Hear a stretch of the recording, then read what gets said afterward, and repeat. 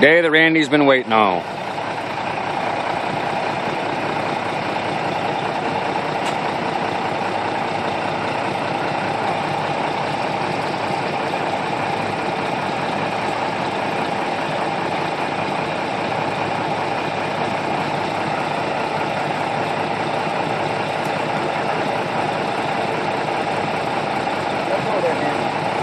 I don't know.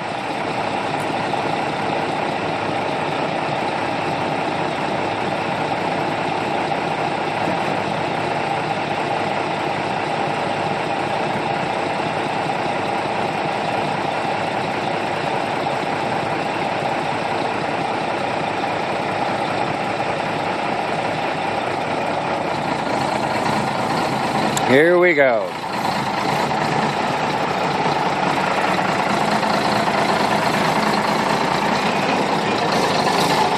Old Joni Merlin's getting ready to go out front for fishing for next year.